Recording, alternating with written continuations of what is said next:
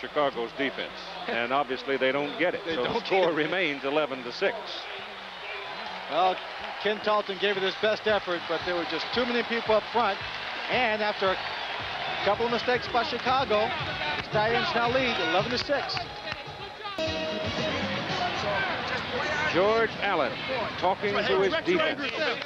Talking to his defense. He said that while we were away, you're giving him too much time to throw the football. Birmingham has scored a touchdown, a field goal, and a safety in a minute and 41 seconds, Vince Vaughn. That's using your time. Yeah, that means yeah, you, either you're catching with some big plays or they're making mistakes. In this case, it was both. Lenny Willis with the ball on the kickoff return. Big hole up the sidelines for Willis. He comes back to the 35 where Scott Norwood knocks him out of bounds. Number four, Norwood. He loves to get in on the play. That's not the first time he's made the tackle on the kickoff. Unfortunately, though, when the kicker does make a tackle on the kickoff, it means they've returned it for some big yards. Bobby Scott comes back to quarterback for Chicago with 5.18 to go in the first half. Again, to update you, Chicago coming in at 10-5. Birmingham coming in at 8-7 on the season. Birmingham must win tonight to have any possibility of staying in the chase for a wild card spot. The Central Division has been tough and tight all season. Michigan and Birmingham both coming on strong late in the second half of the season. And Birmingham's defense, led by Jimmy Walker, swarms all over Bobby Scott. He fumbles the football, and let's see who has it.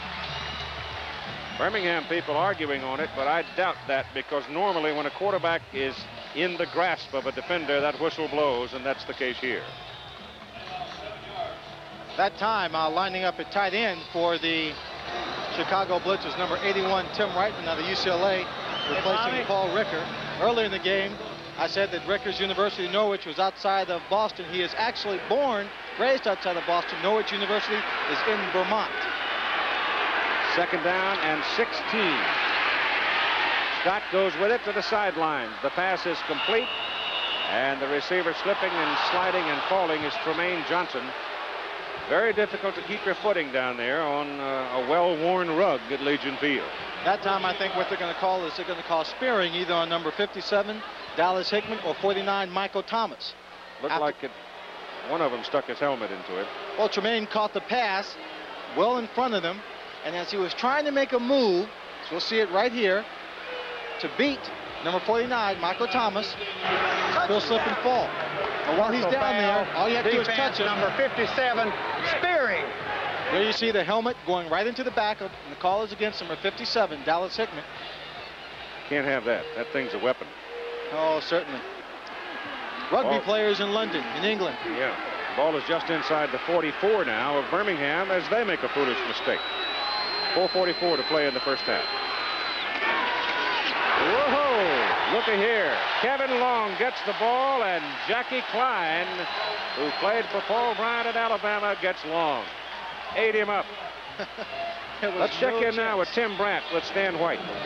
An emotional game, and the guy that's in the middle, one of the leaders, of course, Stan White.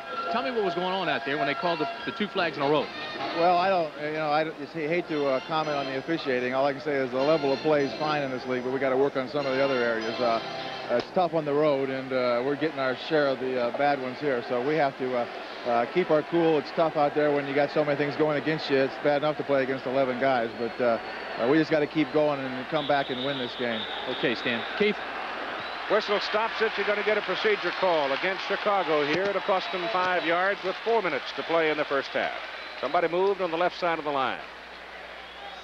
Might have been Thayer. So that'll back them up and it'll make it second down and 16. False start. Number 61, Tom Thayer, just lifting his hand up probably. Halftime at Giant Stadium, the Meadowlands, 17-10. New Jersey leading Los Angeles. Both field goal kickers getting into the ball game. That is the seventh penalty now on Chicago in this ball game, totaling 75 yards. Second down, 16. That's Lenny Willis going in motion, and Scott Back's going to get it. Hatchet hit him, but he gets the pass away, and Lenny Willis can't quite come up with it. Oh boy, did Hatchet lay a blow on Scott. Hatchet got in very, very quickly. They're fortunate man-to-man coverage, and Lenny Willis had him beat again on the same route. But watch here. You see the excellent pass rush on this play, putting the pressure. He goes down. Ooh, and Bobby Lane just gets sandwiched in between the big men up front. That was number 70, Drew Taylor. Right there, you see on man-to-man -man coverage, Willie, uh, Lenny Willis getting that single coverage, coming in motion, just couldn't get his hands around the football.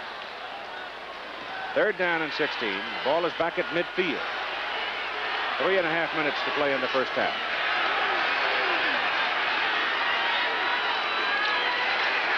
Birmingham drops deep this time. Scott puts it up. The power. Oh, what a great catch by Willis. A one-hander falling down.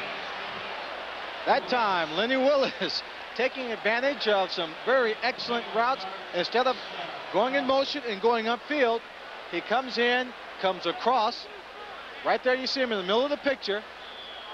Gets inside. Look at that body control, the concentration as he brings that ball in. What a tremendous catch. Hard to believe the man was out of the game. Scott now six out of eight since he came on in relief of Cagle for 104 yards and a touchdown. It's first down Chicago. Ball is at the Birmingham 29. They give it to Kevin Long, and Long finds some room over the left side, and he takes it down to about the 21. Mike Raines brought him down. Mike is also an ex-Tider. Played Alabama, played nine years in professional ball. He's now 30. Eddie Brown now with Tim Brant. Thanks, Keith. Eddie Brown, of course, the captain of the special teams. He's still upset about that safety. Tell us about it, Eddie. Well, you know, it's the impetus of the ball. If it carries you in the end zone, it's just like an interception or any kick. If it carries you into the end zone, then you can down it, and it's just a touchback. We asked the refs, they never heard of impetus of, impetus of the ball. They don't even know what they're calling. Okay, Eddie. Over the left side. Again, Kevin Long runs into Dallas Hickman. Dallas, seven-year pro out of California, 31 years of age. And Chicago has another first down as the ball is marked at the 19. Well, obviously, uh, Chicago a little bit upset with a couple of those calls. Not, not thinking the officials are doing a very good job out there. Uh, I think they've got to really stay along the lines that Stan White was commenting on, get staying in control. Control yourself. Not letting it get to them. Two minutes to play. Clock stops. An unusual ball game loaded with emotion. And with two to go in the first half, it's Birmingham 11, Chicago 6.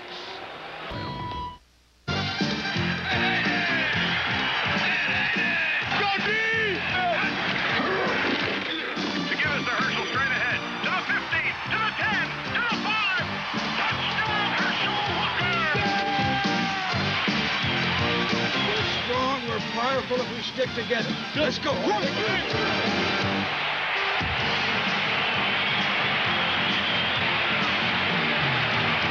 This message was furnished by the United States Football League. Muggy night in Birmingham. A rain shower just as we started the ball game, cooling things some, but has created some difficulty on the field for the players. A lot of slipping around, but it's getting somewhat dried off now. And with two minutes to go, Chicago has the ball at the Birmingham 19. First down. Birmingham leading 11 to 6. The clock will stop each time there's a first down made. Change or move, just like in college. That's one of the differences between the USFL and the NFL. Bobby Scott back. Loops it for the corner. Touchdown. Trumaine Johnson. Perfect pass. Easy catch. He catches this one over David Evans. And it's really it really wasn't much of a contest for number two, Trumaine Johnson. He, he just came off the line. But watch the little subtle moves he makes. Nothing real dramatic. He's driving him inside, gets him just turned a bit. Doesn't really force himself out to the outside too far. Leaves himself room to the sideline. A good pass by Bobby Scott. Chicago scores the second touchdown in the ball game. Eighth of the year for Trumaine Johnson, who's a big fella. He's 6'3", 190 pounds. Played for Eddie Robinson, of course, at Grambling. You know what we probably in this on this field right now, one of them playing number two, Trumaine Johnson, the other not. Number 86, Jimmy Smith, probably the two best wide receivers in the USFL. Again, Bobby Scott getting good protection, lofts it up. And when Bobby Scott came to Chicago, at practice, he was throwing to Trumaine and Wamon Buggs and Lenny Willis, and he kept underthrowing them. Well, he said New Jersey, where he came from, he wasn't used to receivers who get downfield that fast. So he had a little problem adjusting and throwing these receivers, but today looks like he's found Trumaine Johnson with no problem. Again, looking at the central standings to re-emphasize the importance of this ball game, particularly for Birmingham. They are 8 and 7. Chicago tied with Tampa Bay. Tampa Bay is playing at Boston this coming Sunday. That will not be easy. Boston, of course, is in the hunt for an at-large spot themselves with a record of 9 and 6. So Birmingham has really got to go to the wall tonight and try to win this one because if they should lose tonight and Tampa Bay win Sunday, they're gone. Chicago will go for two now, regaining the lead 12 to 11 with 134 to play in the first half. That's Johnson, the wide man. Bobby Scott rolling it out, gets his pass away, and he was hit by number 21, blitzing strong safety Charles Grandjean. He never really had a chance to get rid of the ball because Grandjean really came thundering in. Well, that's all he had a chance to do was just throw it away, hoping that the receiver would turn around. We've got a conference Quickly. with the officials. I did not see it, still don't see a flag, but let's see. Point is no good. We have a personal foul on number 49 after the kick. Will be assessed on the kickoff. Birmingham's Michael Thomas flagged for a personal foul. A rookie out of Tennessee State. We've had a lot of personal fouls down on that field tonight. The boys are a little hot. Well, neither team, the offense or the defense, has left the field at this point. They seem to think that uh, apparently Chicago seems to feel that they should have another chance at the extra point. He called it a dead ball foul. Situation. Yeah, dead ball situation. So they'll assess it on the kick. We'll just see if we can find it for you. Number 49 right there. The safety. The ball is thrown prematurely. Right there. He just pushes him in the back. he knows he's guilty. He was eye- eyeing the referee the entire this time. The entire time after he made contact. Well, that's a foolish mistake for a professional athlete to make. Well, it's it's a foolish mistake, but tempers are running high. He's probably a little bit upset that Lenny Willis has, has been burning their secondary uh, throughout this ball game, making some big catches. Trumaine Johnson, uh, two touchdown catches on the day here in the first half. A little extra push. The 15-yard penalty means Chicago will kick it off from midfield with a minute and a half to play in the first half, and Chicago on top by a point, 12 to 11. And highlights of the second round of the U.S. Open. Played today at the Oakmont Country Club outside of Pittsburgh, Pennsylvania. At halftime for you. John Mahaffey. Seve Ballesteros using the one iron a lot. Play Quite a that bit. tight layup. He's got a strong game.